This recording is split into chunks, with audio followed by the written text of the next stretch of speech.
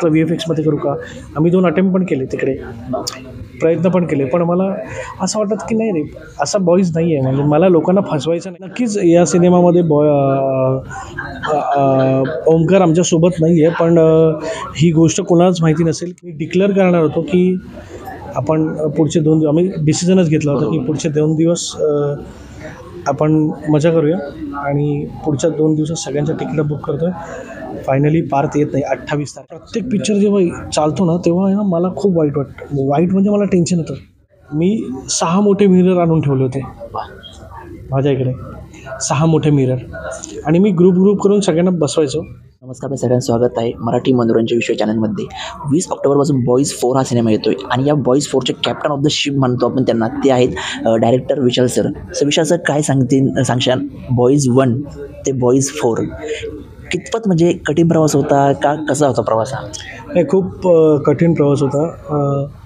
आणि बॉईजने तर खूपच याद नाही दिलं. कारण ही स्क्रिप्ट लिहिली होती बॉईज टू नंतर.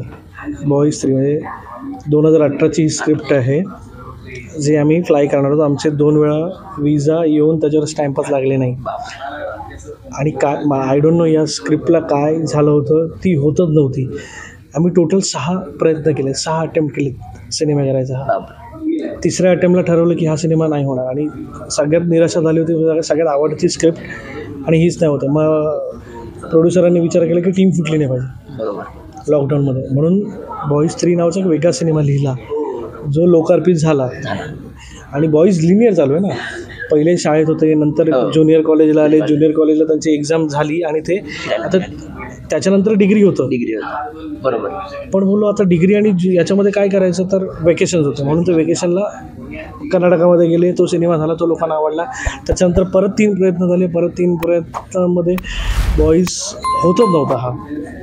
फाय आता फायनली ते प्रयत्न केले. लंडनला गेलो.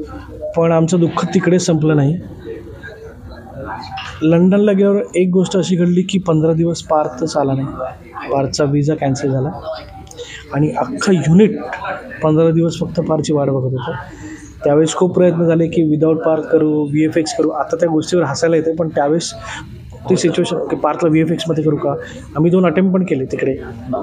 प्रयत्न पण केले पण मला असं वाटत की नाही रे असा बॉईज नाही आहे म्हणजे मला लोकांना फसवायचं नाही आहे रादर माझी टीम पण कारण वर्कशॉप तगडे झाले होते. पंचवीस दिवसाचं वर्कशॉप या पोरांना घेऊन कमाल करत होते. म्हणजे गौऱ्या कमाल करत होता हे कमाल करत होता प्रत्येकाचे कॉस्ट्युम बिस्ट्युम सगळं सगळं झालं होतं. आणि येस कारण माझी आवडती की स्क्रिप्ट आणि ह्या सगळ्यांची आवडती की ह्या सगळ्यांचं कास्टिंग तेव्हा झालं होतं. ग्रेट तो ते ते ते पण यातना भोगतच आले होते. आणि नाव आता होणार आणि पारचा विजा झाला. नाही आणि मोराल डाऊन आणि असं होतं की आता राजेंद्र शिंदे सर जे प्रोड्युसर आहेत त्यांनी सांगितलं की काम करा. आता प्रॉब्लेम येतो ना. आता प्रॉब्लेम एन्जॉय करूया आपण. त्यांनी सगळ्यांना तिकडे उसफूस हे केलं आणि मला त्यांच्याबद्दल सा सा फॅमिलीबद्दल सांगायला आवडेल. फॅमिली काय पाहिजे? म्हणजे फॅमिलीतलं मुख्य जर प्रॉब्लेममध्ये असेल तर अख्खी फॅमिली एकत्र कशी येते? लालासाहेब शिंदे त्यांचे वडील लंडनला आले. बायको लंडनला आली त्यांची मिसेस मनीषा मॅडम. मँचेस्टरला त्यांची मोठी मुलगी शिकत होती ती आली. अशी अख्खी फॅमिली आली आणि अख्खी फॅमिली राजेंद्र शिंदेना सपोर्ट करायला उभी होती की काही झालं तरी. आणि त्यावेळेस त्या रात्री एक मोठी असं हॉल होता आमचा आणि असं हॉल सगळी अख्खं युनिट बसलं होतं बत्तीस जणांचं बत्तीस तेहतीस जणं. आणि पार्थच नव्हतं. आणि मी डिक्लेअर करणार होतो की आपण पुढचे दोन दिवस आम्ही डिसिजनच घेतला होता की पुढचे दोन दिवस आपण मजा करूया. आणि पुढच्या दोन दिवसात सगळ्यांच्या तिकीटं बुक करतो आहे फायनली पार्थ येत नाही अठ्ठावीस तारखेला. अठ्ठावीस मे. एकोणतीसला माझा वाढदिवस. माझा वाढदिवस पण यावेळेस मी साजरा नाही केला. की मला आणि मी तसं नाही करत पण माझं मूडच नव्हतं यार की आवडती स्क्रिप्ट होत नाही. आणि नंतर डिसिजन घेतला की की आता काय करायचं? सगळ्यांनी उत्तरं दिली की बॉईज होणार तो पण पारसोबत होणार आणि तो इथेच जाऊन होणार. आम्ही सगळे सपोर्ट करायला तयार आहोत. तुम्ही आणि राजेंद्र शिंदे काय करू आपण हरू नको आहे तेव्हा आणि हा ड्रामा खरा आहे. मी एकही शब्द यातला खोटा नाही आहे तुम्ही माझ्या परक्ष सगळ्यांना विचारा. माझा बड्डे एकोणतीस मे पारचा बड्डे तीस मे. आणि तीस मेला पारचा विजा एकोणतीसला रात्री आला माझ्या बड्डेच्या दिवशी. आणि त्यावेळेस पारचे बड्डे दोन देशामध्ये साजरे केले. एक लंडनमध्ये आम्ही साजरा करत होतो बिकॉज इंडिया पाकिस्तान जिंकल्यावर जिंकल्यावर आपण जेवढं सेलिब्रेट केलं तिकडे आम्ही तसं हे केलं. आणि या साईडला पार्थ गुरुनाथ पाटील आपले editor Milind Kawade Okay. Sir होते. त्यांच्यासोबत पार्थ एन्जॉय करत होतो. आणि मिलिंद कवडे सर पण सपोर्टला आले होते. थँक्स टू मिलिंद सर आणि फायनली पार्क फ्लाय झाला. आठ वाजता तो लंडनमध्ये पोहोचला आणि दहा वाजल्यापासून तो सेटवर उभा राहिला तो शेवटपर्यंत. क्या बात आहे, क्या बात आहे. असं झालं होतं. तर हा एक बॉईजचा प्रवास आहे ना. अशा प्रत्येक बॉयची हिस्ट्री बरोबर प्रत्येक बॉलची असते आणि आपण पाहतो की हिंदीमध्ये सुद्धा सिक्वेन्स येत राहतात. ठीक आहे ना? पण हिंदीच्या आपण सिक्वेन्स जर पाहिलं आणि प्रेक्षकांचं त्याच्यावर जर रिॲक्शन जर पाहिली तर प्रत्येक जण म्हणत असतो की अरे पहिलाच चांगला होता. ठीक आहे ना पहिला चांगला होता नंतरचा काही एवढा खास नाही जमला किंवा नंतर फक्त वाढवला आहे पिक्चर पण जो बॉयची सिरीज जी होती त्यामुळे पाहिलं की प्रत्येक जो एपिसोड आहे किंवा प्रत्येक जो एक टप्पा आहे वन टू थ्री लोकांना प्रत्येकचा प्रचंड आवडला आहे तेव्हा जेव्हा चौथा आपण काढत असतो स्टोरी जरी काही असली चौथा आपण जेव्हा काढत असतो पण एक जबाबदारी असते त्याबद्दल काय सांगशील? सी चांगला प्रश्न विचार मला खूप आवडला कारण याचं उत्तर मला खूप दिवसापासून द्यायचं होतं. की काय होतं प्रेक्षकांना वाटतं किंवा काही लोकांना वाटतं की बॉईज उगाच म्हणजे उगाच सिनेमा चालतो पण तो सिनेमा चालतोय. म्हणजे बॉईज थ्रीचे माझ्याकडे बुक माय शोचे स्क्रीनशॉट आहेत जिथे सकाळी सहा वाजताचा शो हाऊसफुल असतो. आणि त्याच रात्री बारा पंचावन्नचा शो हाऊसफुल होता आणि चौदा शो होते एका थिएटरला हे बॉईज थ्रीला झालं. जे बॉईज वनपासून हीच लेगसी चालत आहे. आणि तो लोकांना खूप आवडतो आहे आणि आता प्रत्येक पिक्चर जेव्हा चालतो ना तेव्हा आहे ना मला खूप वाईट वाटतं. वाईट म्हणजे मला टेन्शन येतं. की आता काय करायचं? कारण हारलो तर आपल्याला नाही आपण परत करू असं होतं. जिंकल्यावर काय? मग ती जबाबदारी खूप वाढते. आणि ती जबाबदारीची जाणीव आहे ना पार प्रतीक सुमंत आणि माझ. राजेंद्र शिंदे अवधूत गुप्ते जेवढे पण हे सिनेमा करते तेवढंच आहे. कारण ती जबाबदारीची जाणीव जी आहे ना ती नवीन लोकांना ऊर्जा देते. हे पार्क जेव्हा येतात ना आणि ती तो सिरियसनेस असतो त्याच्यामध्ये. आणि मी जसं मी प्रत्येक इंटरव्ह्यूमध्ये सांगतो माझा हा पहिला सिनेमा म्हणून करतो. कदाचित हाच एक मोठं रिझन असेल की मागे मी तीन किती माझे हिट झालेले आहेत किंवा मी किती मोठा डिरेक्टर आहे हे मी कधीच मानत नाही. वर्कशॉपला मी पार्थ भालेराव आणि माझी सगळी पोरं आम्ही शून्यावर असतो. आणि शून्यापासून जेव्हा सिनेमा स्टार्ट करतो ना तेव्हा ती खूप गंमत येते.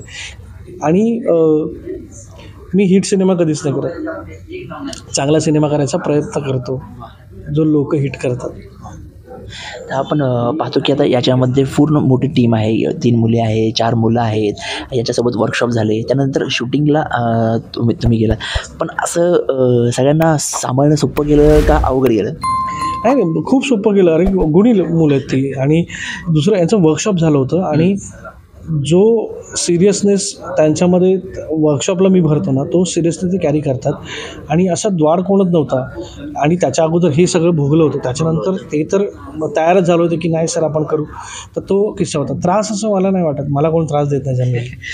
आणि आपण पाहिलं की अ, पार्थ आणि प्रतीक असेल हे बॉईल फर्स्टचे दोघं जण आणि आत्ता बॉईज फोरचे काय आता त्याच्यामध्ये बदल जाणार तुला? एक अभिनेता आणि अरे नाही प्रचंड बदल आहेत ते त्यांचं आणि त्यांच्याबरोबर सगळ्यात मोठे चॅलेंजिंग ते लोक आहेत मला.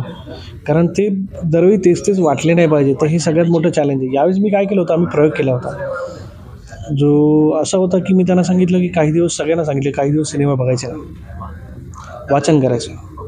मराठी साहित्य आपली सगळी साहित्य वाचलं करा मग ही पुस्तक आणून ठेवली आणि वाचायचं. कारण जेव्हा आपण वाचतो ना तेव्हा आपण एक त्यांनी सांगितलेलं वर्णन आहे ना आपल्या पद्धतीने तो एक माणूस उभा करत असतो. ती सवय लागणं खूप गरजेचं आहे एखाद्या कॅरेक्टर आपण सिनेमा जेव्हा बघतो ना एक कॅरेक्टरचा सिंगम मला पोलीस इन्स्पेक्टर येतात सगळ्यांचा सिंगम येतं. पण ते सिंगम एका डिरेक्टरनी उभं केलेलं आहे. हे त्याचं व्हिज्युअलायझेशन आहे. हे आपलं व्हिज्युअलायझेशन नाही आहे. म्हणून आपलं व्हिज्युअलायझेशन येण्यासाठी पुस्तक हे सगळ्यात सुंदर माध्यम आहे जे आपलं व्हिज्युअलायझेशन बेटर करतं. त्याच्यामुळे मी सांगितलं पार्थ आणि प्रत्येकला हे सांगितलं होतं की जेव्हा हवामान बदलतं जेव्हा लोक बदलतात रिॲक्ट करणारे तेव्हा माणसाचे एक्सप्रेशन बदलतात. मी सहा मोठे मिरर आणून ठेवले होते. माझ्या इकडे. सहा मोठे मिरर आणि मी ग्रुप ग्रुप करून सगळ्यांना बसवायचो. आणि त्यांना रिॲक्ट व्हायला सांगायचं. आणि सगळ्यात बेस्ट माझं सप आहे मी कास्ट एक्सचेंज करायचो. ओके कधी अभिनय डुंग्या करायचा कधी तो करायचा. असे हे वेगवेगळे करायचे याच्यामधून एक मिळालं त्याच्यामधून दोन मिळालं त्याच्यामधून तीन मिळालं. आणि त्या वातावरणामध्ये जाऊन आपण काय रिॲक्ट करू ना प्रत्येक देशामध्ये आपण गेल्यावर प्रत्येक माणसाला रिॲक्ट करायची पद्धत वेगळी असते कारण प्रत्येक माणूस सेम नसतो. तर ह्या ह्या सगळ्या गोष्टींचं आम्ही सगळी लिस्ट काढली होती. पेपरवर प्रचंड केलं होतं. आणि हे हे मला सांगायला प्राऊड होतं हे माझ्या मुलांनी केलं होतं. की तिकडे गेल्यावर थंडीमध्ये एखादं अभिनेता कसा रिॲक्ट होईल किंवा एक स्पॅनिश मुलगा माणूस भेटला तर मी कसा रिॲक्ट होईल? एक इटालियन गर्ल मिळाली की ती मी कसा रिॲक्ट होईल? मी कसं काय करेन काय करेन? ह्या सगळ्यांचा खूप जास्त विचार केला. म्हणून बॉईजमध्ये प्रत्येक माझे पार्थ प्रतीक आणि सुमन हे वेगळे का वाटतात? हा त्यांचा अभ्यास आहे हे लोकांना माहितीच नाही आहे हा मी केलेला अभ्यास आहे हा त्यांनी त्यांचा पिक्चरवर केलेला अभ्यास आहे हा मी माझा माझा डिरेक्टर म्हणून केलेला अभ्यास आहे. म्हणून तुझ्या पहिल्या प्रश्नाचं उत्तर हेच आहे की लोकांना का आवडतो? कारण वेगळेपण दरवेळी बघायला मिळतं वेगळी स्टोरी असते. स्टोरी असते. बरोबर. आणि आपण पाहिलं की याच्यामध्ये सगळे कलाकार आहेत पण एक प्रेक्षक म्हणून आम्हाला कुठेतरी वाटतं की ओंकार भोजनाची मी का नाही? कारण का त्याचं कॅरेक्टर एवढं म्हणजे लोकांना क्लिक होणार होतं की नाही हा पाहिजे. तर तो आम्हाला कुठे मिस झाल्यासारखं वाटतोय. सी नक्कीच या सिनेमामध्ये बॉय ओमकार आमच्यासोबत नाही आहे पण ही गोष्ट कोणालाच माहिती नसेल की जेव्हा आम्ही शूट करायचा प्रयत्न केला तेव्हा ओंकारला ओमकारला मेडिकली खूप प्रॉब्लेम होता. त्याच्या डोळ्याचा खूप मोठा प्रॉब्लेम झाला होता आणि त्याची नस कुठेतरी होती आणि त्याला बेड रेस्ट सांगितला होता. पण बॉयची स्टोरी तू ऐकलीस की सहाव्या अटेम्पला पण ह्यावेळेस आम्ही विचार केला होता. मी ओमकारवर चर्चा पण केली. ओमकारने सांगितली की तुर्तास या ह्या सिनेमासाठी थांबतो. मी पुढच्या सिनेमाला जॉईन करेल पण आत्ता माझ्याकडून त्याच्या आणि मी त्याची हालत बघितली होती. तो सिख होता तो खूप बिझी त्याच्यामध्ये बाकीच्या कमिटमेंट होत्या. त्याच्या.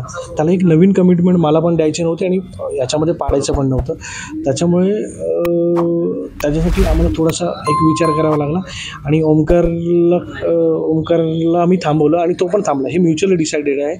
ओमकार थांबला आणि आम्ही पुढे असो. लोकांचा हिरमोड होतो आहे त्याच्यासाठी मी दिलगिरी व्यक्त करतो पण ओमकार हा अजून पण बॉईजच्या फॅमिलीचा भाग आहे.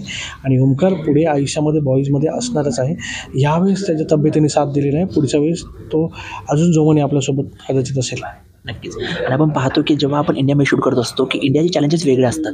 ते आपण नॉर्मली मोस्टली ते सॉल्व्ह होणारे असतात. पण जेव्हा दुसऱ्या देशात जाऊन आपल्याला शूटिंग करायचं असतं एवढा क्रू घेऊन शूटिंग करायचं असतं होतं पार त्याला सगळं झालं शूटिंग चालू झालं पण त्यानंतर किती अडचणी आल्या?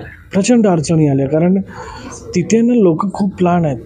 म्हणजे तुम्ही आत्ता सांगितलं ना मला हे पाहिजे ते कधीच देत नाही. त्यांना एक दिवस अगोदर मेल करावं लागतं. हे सगळं सगळं सगळं सगळं तामझाम करावं लागतं.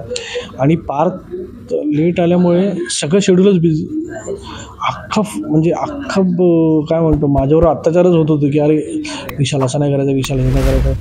आणि तरी पण थँक्स टू माझी टीम सगळे तग धरून बसले आणि सगळ्यांनी नाही आता सोडायचंच नाही. आता तर पार्थ आला आहे आता सोडायचं नाही पण ह्या सगळ्या प्रॉब्लेममधून जवळपास मार्ग काढून हा प्रयत्न करायचा विचार केलेला. दादा आता प्रेक्षकांना काय आव्हान कशी चित्रपट पाहण्याबाबत मी ॲक्च्युली प्रेक्षकांना आव्हान नाही करणार कारण हा त्यांचा सिनेमा आता तो लोकांचा सिनेमा. आता तो माझा सिनेमा राहिला नाही आता तो लोकांचा सिनेमा आहे मी फक्त तारीख सांगणार आहे वीस तारखेला वीस ऑक्टोबरला तुझ्या जवळच्या चित्रपटात बॉईज नक्की पाहायला आहे आणि हा तुमचा सिनेमा माझा सिनेमा नाही